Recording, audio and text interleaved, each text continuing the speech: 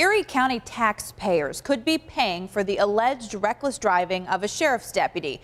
That's the claim of a new lawsuit to be filed by the NFTA against Erie County and the sheriff's office. As 7 Eyewitness News senior reporter Eileen Buckley tells us, this all stems from a bus crash involving a deputy's vehicle. The NFTA filed a claim blaming a sheriff deputy for being reckless in causing a crash that happened October 16th on Grand Island Boulevard. The claim was filed in state Supreme Court.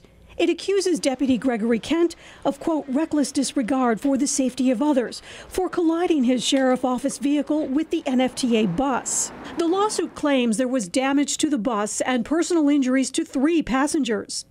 The claim states the collision was caused solely by the negligence, carelessness, and or reckless disregard for the safety of others. The NFTA is claiming the sheriff vehicle failed to keep proper distance between its vehicles, failing to hit the brakes, and failed to take proper measures to avoid striking the bus. The NFTA is also claiming the vehicle was operated at an excessive and dangerous manner.